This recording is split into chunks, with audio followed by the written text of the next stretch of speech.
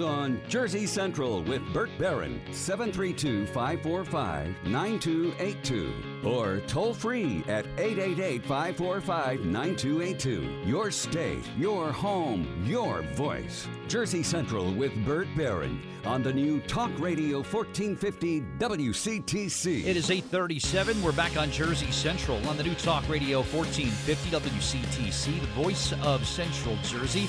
We'll do our need to know things coming up a little bit later on here in this 830 half hour. We have another traffic and weather update coming up for you at 845. Congratulations to our winner earlier today of our fantastic prize pack, all the snacks and all the goodies to get ready for the game on Sunday.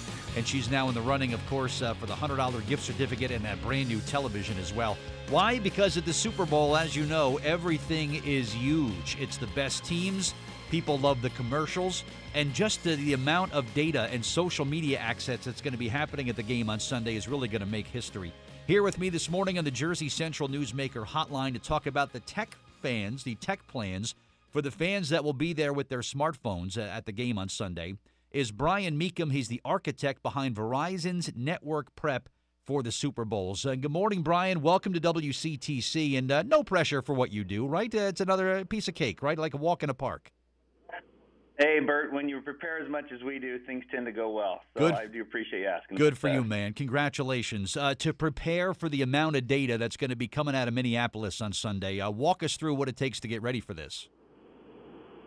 Yeah, I'll tell you, it takes us about two years, and we've got to work pretty hard to prepare all the areas because you have airports, you have hotels, you have the stadium itself, you have the Super Bowl area where they activate down in the Nicollet Mall, as they call it here in Minneapolis.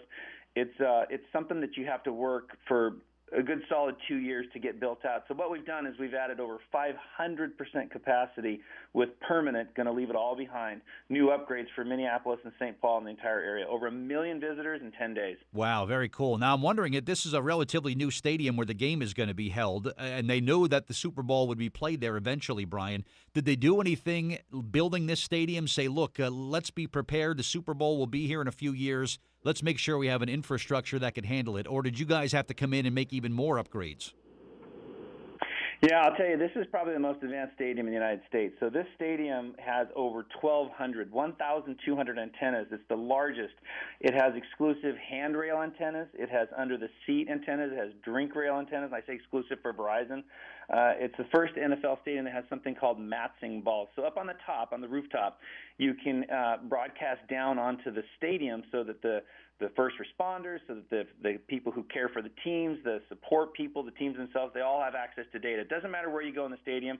Used to be in the olden days, you couldn't have coverage everywhere. Now we got you covered no matter where you're outside that stadium. That's really awesome. And when you look at how far technology and football have kind of gone together, I mean, the the first Super Bowl wasn't even bothered to be recorded because neither network that carried the game said, "Ah, this isn't going to last. Let's not even bother." And you look at where we are today; it's uh, it's pretty remarkable. And just the fan experience alone for this, Brian, has got to be just uh, incredible. As somebody sitting there with either an Eagles jersey or a Patriots jersey, what's the experience going to be like for them? Well, I'll tell you what, I'm going to talk to you about terms of usage. So let's put that in perspective. In the past, people would go maybe a few texts, maybe a phone call. Now they want to post and they want to snap and they want to be able to stream. They want to check updates.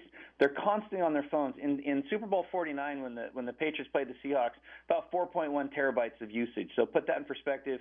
Uh, then in Super Bowl 50, when the Panthers and the Broncos played, seven terabytes. Okay. Wow. The next one, the big one, when New England and Atlanta played, 11 terabytes. I'm going to tell you what that means. 11 terabytes is the equivalent of one person binge watching HD video for 265 days nonstop.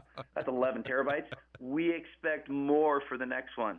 This one that's coming up here Sunday, bigger, more usage, more than 11 terabytes. Sounds like me with uh, with Walking Dead lately and uh, and catching up on all the episodes there. But uh, uh, there's even there's a lot of other even purposes uh, for this too, Brian. And this is great work that Verizon is doing. Obviously, things like public safety and and helping out small businesses in the area, even after the game is played and the dust settles. And uh, I'm a Jets fan, so you know who I'm pulling for. The city and the stadium will still have be able to benefit from you guys, right? Yeah, no question. I appreciate you highlighting that. We're there for first responders. It's a big deal to us that when you make that call that it goes through.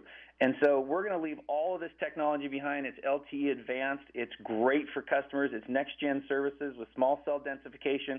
We're working with smart communities to try and help them with cameras so that the first responders will have access to that all amazing tech, all of it stays. We invested heavily for this. We want everybody to have a great experience. Fantastic stuff. Brian Mecum's my guest. Uh, he is with Verizon, and he's the guy. No small task. Make sure that the stadium can handle all the social media demands for the Verizon network there, uh, and just to make that fan experience as great as it can be. Uh, if I recall, there's a trend, Brian, when it comes to the World Cup soccer tournament, that as soon as a game ends, social media goes crazy because people brag around the world that their team beat uh, beat the other team in the soccer match. Do you see a lot of that as the game is going on, particularly in the markets of, uh, of Boston and, and Philadelphia? Are you expecting to see a lot of uh, uptick in terms of social media activity there? Yeah, we do. You know, uh, it's also associated with big plays, though. Big plays, halftime, end of game, all of that big explosion on social media. Uh, you remember that big, exciting game where the Eagles I, I know they beat the Vikings, but do you remember when Stefon Diggs caught that pass? Oh, and, sure. And that walk-off touchdown win. Yes. That game alone exceeded Super Bowl 49. so just one playoff game, boom, everybody had to post about it. Remarkable stuff. Uh, do you have a preference, uh, Brian, as to who you're pulling for? You pulling for either side?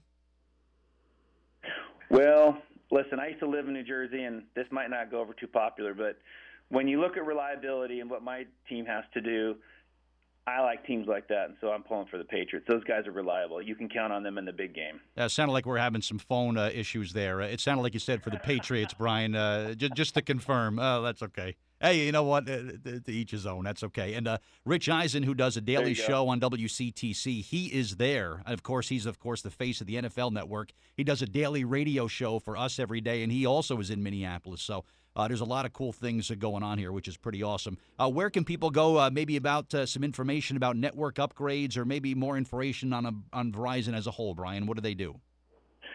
Yeah, no, I appreciate you asking. So it's really simple. Verizon.com. If you want to look at what we're doing at Super Bowl, Verizon.com forward slash news. Nice and easy. Forward slash news. We'll be sure to take a look at that. And I'm due for an upgrade uh, in July. Uh, any any early favorites uh, for when I'm ready for my new cell phone in about six months? I think you got to look at the size. You go in there and you test drive a few of them, whatever's comfortable for your pocket, what you like. Uh, there's a lot of great options out there right now. Awesome. Really good options. Awesome. I'll check it out. Brian Mecum uh, with Verizon. Hey, enjoy the game. You do get to stay and watch the game for all this hard work you're doing, right? I, I do from my command center. There's over 150 people, so three times the size of a football team of my folks out there trying to make sure that everything's going to run well. I'll be in the command center watching, rooting for those Pats. All right. Well, good stuff. Good talking to you, Brian. Uh, have have fun, and uh, thanks for the great information today. And uh, hopefully we could talk again. All right. Thanks, Bert. Appreciate it. Thanks, man. Take care. All right, Brian Mecum with Verizon. Yeah, no big deal. It's uh, you know terabytes of data. Just just make sure it gets out and gets to where it needs to go.